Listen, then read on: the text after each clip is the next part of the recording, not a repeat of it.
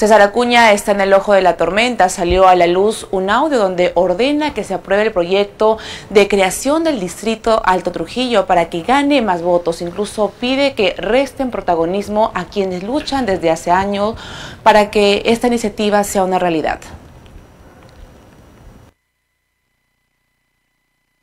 es político. El proyecto de Alto Trujillo es sueño de hace 30 años. O sea, Trujillo tiene 120 mil 120 electores, ¿no? Es más que, más que por venir. Y ahorita, ahorita el Ejecutivo ya envió el proyecto de ley, o sea, nos ha dado la pelota.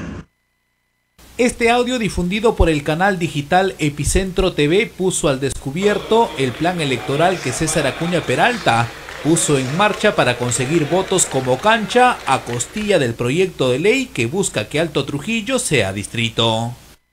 Este proyecto de Alto Trujillo me va a favorecer a mí, si es que lo aceleramos. Esta semana tienen que sacar, la, tienen que sacar el, dictamen de comisión de descentralización, esta semana sacar y la semana que viene entra al pleno y la siguiente se va a Leyli y entrega la ley al Trujillo. Hoy estamos acordando parte de la agenda, estrategia de, estrategia para ayudarme a mí. El audio fue grabado en la última reunión que César Acuña sostuvo con los miembros de su bancada Alianza para el Progreso en Lima, donde estuvo presente la presidenta del Congreso, Lady Camones. El líder de Alianza para el Progreso da órdenes expresas de lo que se tiene que hacer, incluso para anular el protagonismo de otros. Lo que hay que evitar que se cuelguen del proyecto. Acá viene yo el alcalde. ¿Acá está Pepe? No, sí, por eso el alcalde quiere venir a tocar las no, ah, no, Yo antes que venga el alcalde, yo ya le envié el documento a la no, no, recibimos. No hay que permitir que se cuelgue de nuestro proyecto. Va a venir el alcalde y se va a llevar los laureles él. Ah, sí, eso sí. Es que es acto político. Aquí no hay el alcalde, la ley va a ser el Congreso.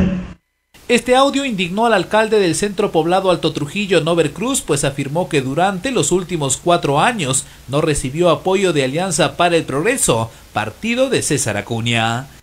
No hemos tenido el apoyo de parte de su partido, digamos, por ejemplo, del alcalde distrital del Porvenir manifestaba él públicamente y lo ha reconocido hace algunos días en un medio, cuando se le decía, cuando queríamos nosotros que se le dé la celeridad respectiva en los informes económicos, entre otras actividades, el alcalde manifestaba que estaba muy de acuerdo y que tenía toda la voluntad, pero que sin embargo, en los hechos sus funcionarios hacían todo lo contrario. Entonces siempre esto es una jugada política, ¿no? Nover Cruz pidió a César Acuña que no politice el proceso para que Alto Trujillo sea distrito. Son siete años de lucha constante. Claro afecta esto porque siempre debemos actuar, siempre lo he dicho, no sin color, sin tinte político. Debemos mirar siempre el desarrollo de nuestro país. Tenemos que desprendernos de nosotros mismos. Tenemos que mirar al país como nuestra patria grande, con nuestra casa grande. Tenemos que todos, de donde nos encontremos, asumir el rol que nos corresponde, pero para contribuir al desarrollo de todo, no de un partido, ni de dos, ni de tres, sino de la población, porque para eso nos eligen las autoridades. Efectivamente. El candidato regional de Alianza para el Progreso se ufana de liderar las encuestas por un gran porcentaje, pero sus acciones demuestran otra cosa. Como se recordará, en el 2013 salió a la luz un video conocido como Plata como Cancha, en el cual César Acuña expone a su cúpula la estrategia para ganar la reelección a la alcaldía de Trujillo en el 2010, utilizando incluso algunos programas ediles. El audio que salió a la luz demuestra que César Acuña no ha cambiado y que solo utiliza otra esfera del gobierno para sus fines personales. Nos vamos